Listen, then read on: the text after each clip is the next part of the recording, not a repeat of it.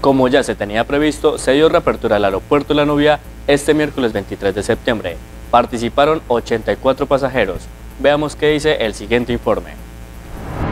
Tras seis meses y medio de cierre, el aeropuerto La Nubia volvió a abrir sus puertas para el regreso de la operación aérea. Desde este miércoles 23 de septiembre se esperan los primeros vuelos provenientes de Medellín y Bogotá, así como la posterior salida de los aviones desde la terminal aérea de los caldenses a esas ciudades. EasyFly es la empresa que comenzó con la operación y se espera que en octubre lo haga Avianca con sus vuelos a la capital del país. Gracias a nuestro director Juan Carlos Salazar director de la Aerocivil, primero por el apoyo para el aeropuerto del Café, un director que en este año ha venido cinco veces al terraplén de Aerocafé, pero un director que ya nos permite reabrir el aeropuerto La Nubia, absolutamente necesario para nuestra conectividad. Así que a toda la familia del Aerocivil, del Ministerio de Transporte, pero también de nuestro aeropuerto La Nubia a través de Ificaldas, un abrazo de gratitud y esperamos pues que esto contribuya a la reapertura económica de Manizales, del área metropolitana y del departamento de Caldas.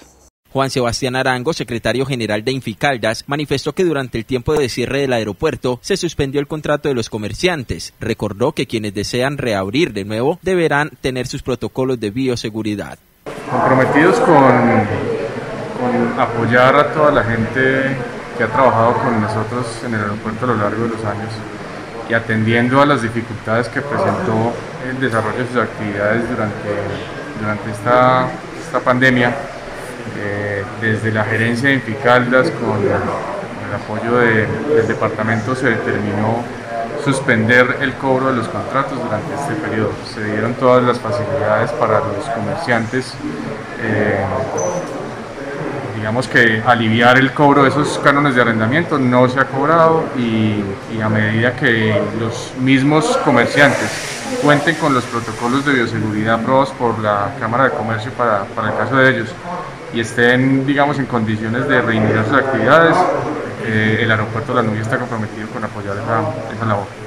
En estos seis meses se estima una pérdida de 1.500 millones de pesos, además de ir recuperando el flujo de entradas y salidas que antes de la pandemia estaba en 11.000.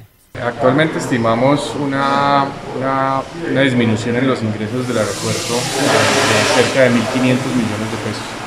Eh, es importante indicar que eh, antes de la pandemia estábamos moviendo alrededor de 11.000 pasajeros por mes y y actualmente esperamos que con el reinicio de operaciones inicialmente eh, lleguemos a los 2.000 y progresivamente ir, ir aumentando esta cantidad.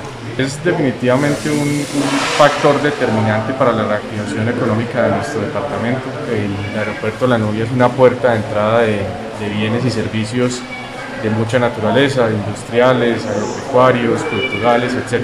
Es decir, estamos seguros que el aeropuerto y su reapertura son un factor determinante y necesario para la reactivación de todas las actividades en, el territorio. Con la reapertura son 60 empleos los que se generan en la terminal aérea, 8 operadores en tierra, 6 de EasyFly, 5 comerciantes y otros 35 entre bomberos, funcionarios de la torre de control, personal administrativo y guardas de seguridad y policía.